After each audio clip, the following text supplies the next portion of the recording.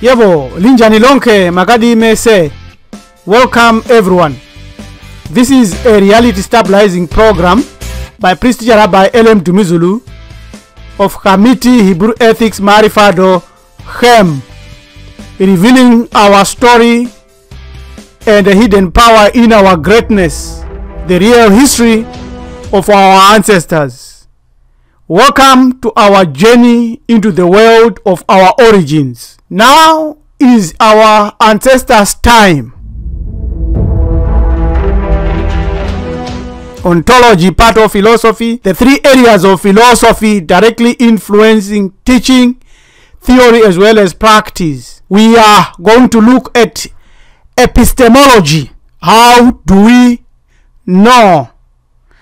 Knowing through experience, reason, authority, intuition, and active construction. What we are going to do today is to use a comparative approach, and our contrast is on Islam, Christianity, and Judaism for obvious reasons because these are the major religions now dominating the thinking of our nation.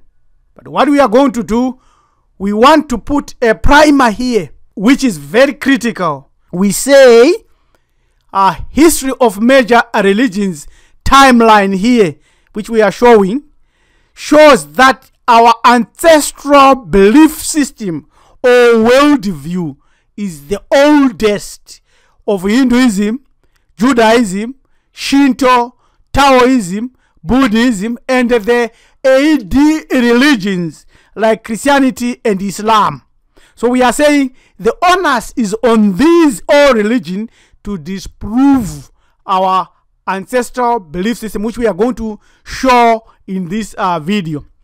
We also should uh, be able to look at Abrahamic religions like Judaism with 18 million uh, believers, Christianity with 2 billion, and Islam with 1.3 billion, Aryans, uh, Hinduism 900 million, and Buddhism 360 uh, million. And we are saying all these came from ancient African spirituality. That's the comparative, and we are going to do that in a way and in a manner that is functional and that compares three pillars of, of our ancestors' time. Now is our ancestors' time before that. So let's continue and let's proceed now and let us take this uh, step uh, by step.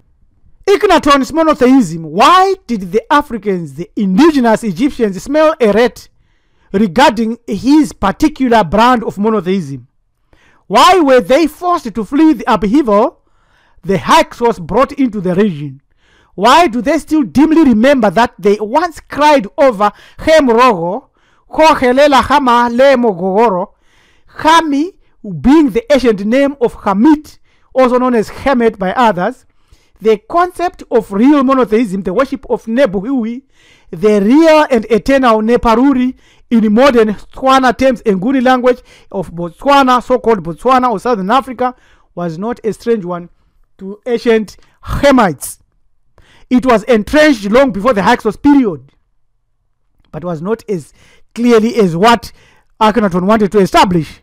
What they did not want was the forced worship of an elite group of flesh and blood gods, the so called pantheon, Latin for earth gods, who now masqueraded as the Almighty Yehovah, Tswana, who is who here on the earth. You go to this Mneg uh, newspaper, which we are giving here, and study all this. But Akhenaton also reverenced uh, the sun and wanted to destroy everything except uh, the sun. The basic revealed levels of consciousness or spirituality amongst the original peoples on earth is as follows animism, which is the intermediaries and totemic, and then we have uh, polytheism, and then it is animism, where it is totemic, is one example of animists. That's why you find the ancient Egyptian gods have got a dual representation of the human being body and the head of an animal It's totemic, it's animism. We shall deal with this and clarify what it means. And then there is the monotheism that is very abstract concept of the oneness of the creator. It's very abstract. When you explain this, you have to correctly say there is a chasm and the human mind cannot absorb and understand the real high creator.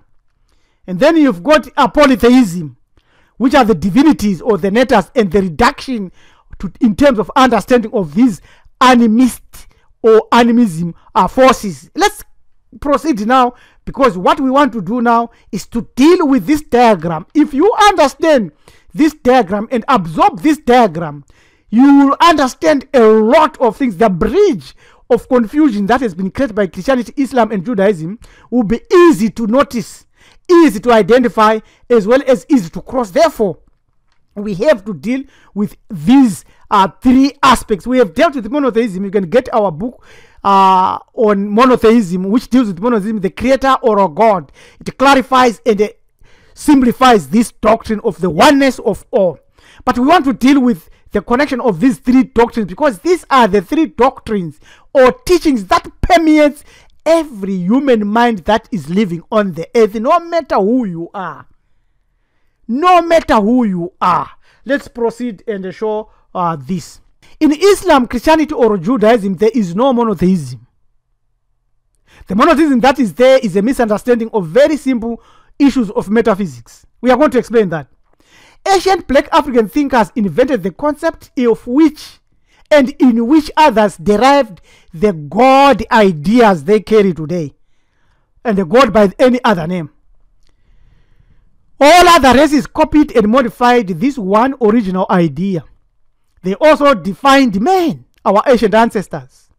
They defined almost everything humans or our Bantus. And the word Bantu means a lot, is loaded, is packed. A flesh, blood, and bones material conscious animal, where inside this animal sleeps a divine shard, a spark, a spirit, a tiny worm like piece of the Almighty or created by the Almighty and deposited into us via the law of reproduction by our ancestors. So you see that these are all connected now.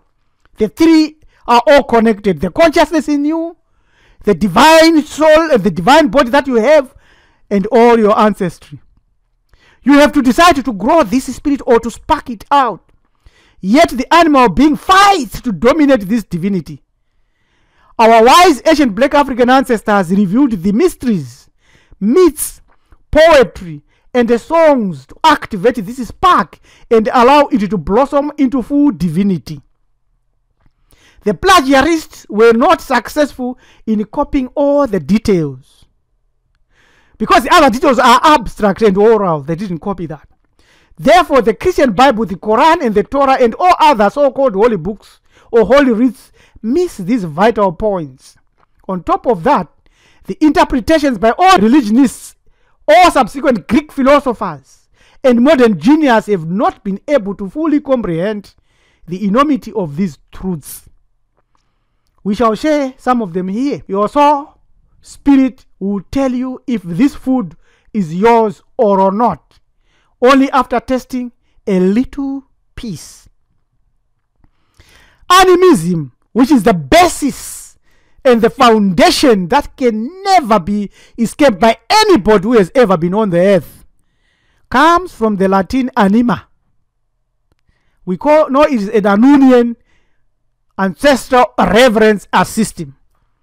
This is the religious belief that objects, places, and creatures all possess a distinct spiritual essence.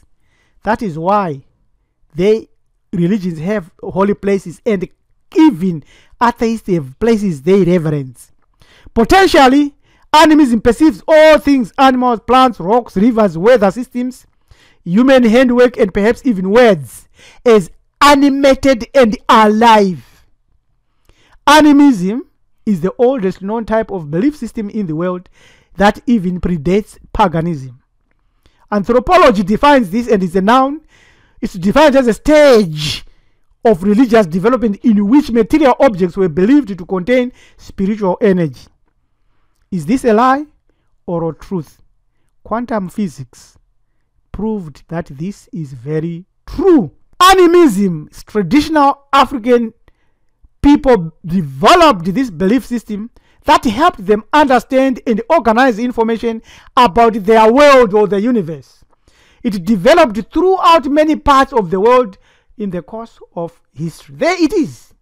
There it is. You can see it quite clear how we love this doctrine, how we must understand this. Research in archaeology, history, linguistics, genetics, art, science, sociology, geography, psychology, philosophy, theology, biology, and zoology gives a timeline on the epistemological development of human understanding. You cannot deny this. We are going to show you the anthropological investigation and forensic study and the proof of the evolution of Bantu ideas. But here is the truth. Our current spiritual understanding is the basest of all. It is the monotheistic religions that have caused more suffering, destruction, colonization, and enslavement of others than our ancestors who were animists and polytheists.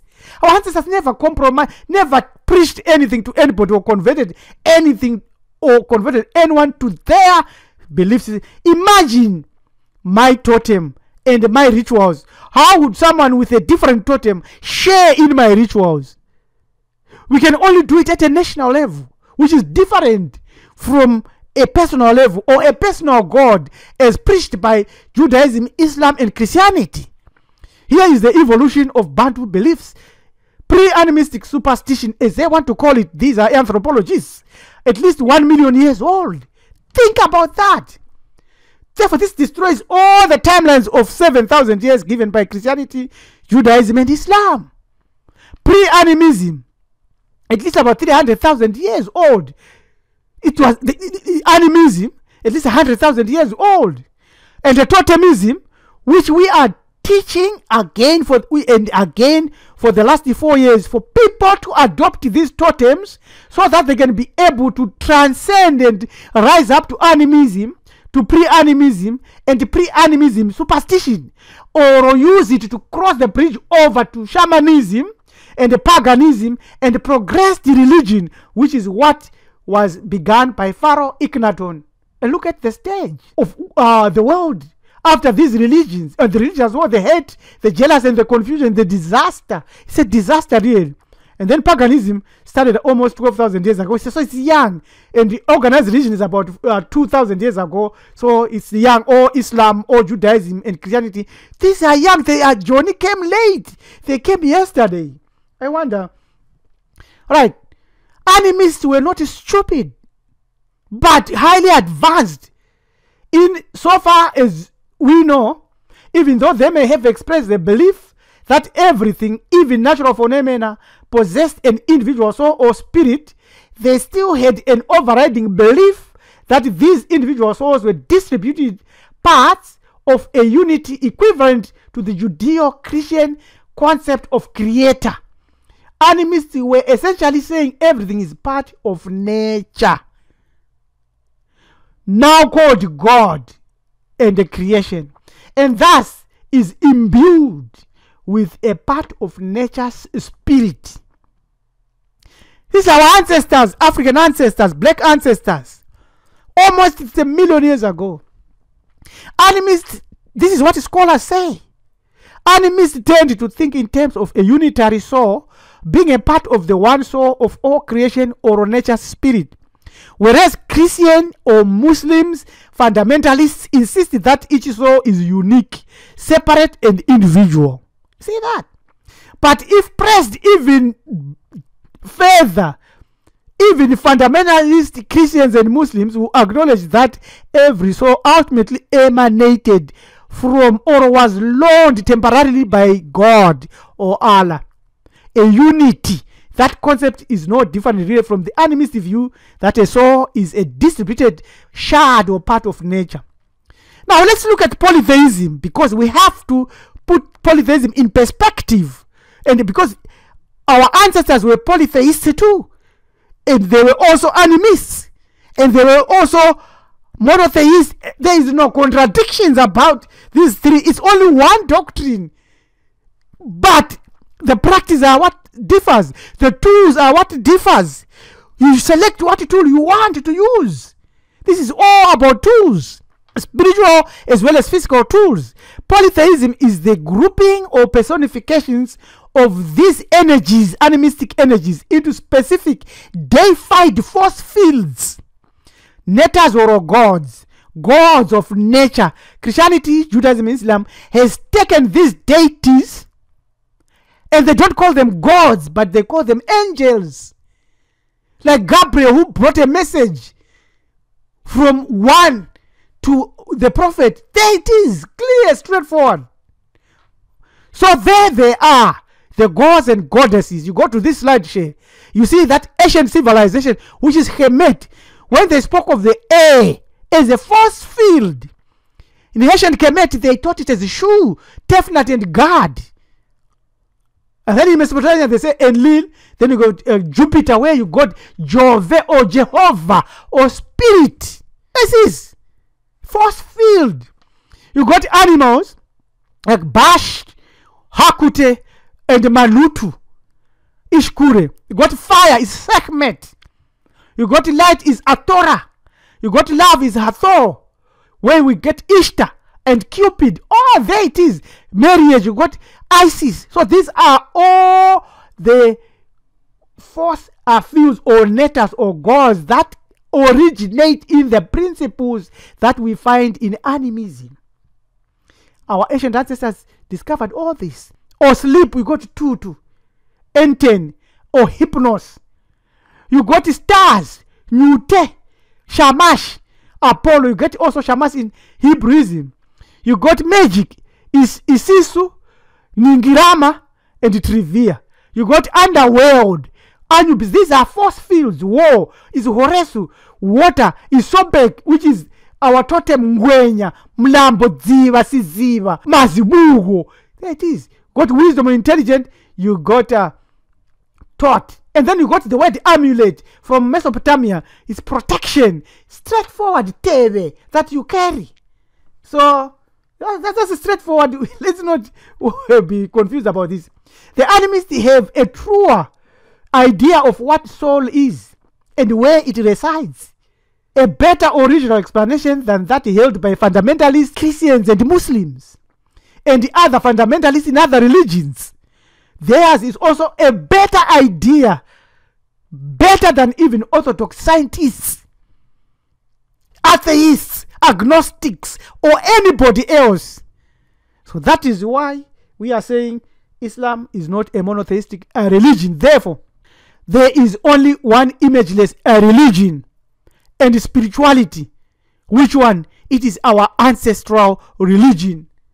Ancestors. Let's look at what Molefi Kete Asante, one of our current scholars, uh, teaches. Ancestors are those who once lived human society in human society and having fulfilled certain conditions are now in the realm of the spirits. One becomes an ancestor by living and dying in a particular way. In African religion, to become an ancestor, one must have lived an exemplary life, shown devotion to one's own ancestors, respected the elders, and had children. Among various ethnic groups, to become an ancestor, one must have died a good death. That is, one's death must not have been by suicide, accident, or other forms of violence, with the possible exception of heroic deaths on the battlefield. In most societies, those dying of epilepsy, lepers, and lunars cannot be considered candidates for ancestorhood, or those who were thieves, robbers, killers, dictators, or evil can never be candidates of ancestorhood. This is very important. Go and study it uh, in from this uh, website. Now, the almost universal adopted ideal that Islam is a monotheistic religion was rejected by our ancestors long ago when one pharaoh wanted to abolish other two systems of animism and polytheism, which our ancestors passed on to us. He wanted to leave only the sun and our ancestors said no. Are you going to say no today? Or you are going to say yes? Akhenaton, a heretic pharaoh, he banned the worship of the existing pantheon of our gods, netters, powers, forces, Shu, Tefnut, and they wanted to replace them with only one single god, the Aten or Sun disk. Imagine. It didn't sit well with general population at large either because there was a consciousness and awareness of the effective power buried within animistic belief and practice as well as polytheistic practice. The old certainties and tradition of centuries of worship of the old gods was swept aside overnight by Akhenaten, and this made most people feel confused and uneasy. Correct, we have already explained that. Within a dozen years of his death, the traditional worship of the old pattern of ancient Kemet was re-established, Akhenaten being listed as an enemy of the state and enemy of the people in the archival records and being excised almost completely from ancient Kemetic history as a heretic. He is a heretic. You can get more information from that slide shown uh, there. Come out of it and let us rebuild our own, which is real. Ubuntu, Mahati, modern challenges, ancient solutions. Now is our ancestors' time. Thank you so much. Subscribe to our channel, Committee Brew Ethics. This is our email, join at marifado.com. This preacher, Rabbi Lem Dumizulu of Marifa Development Organization, Marifado. Till we meet again, Edupe Siabonga Tatenta. Thank you, Enkos.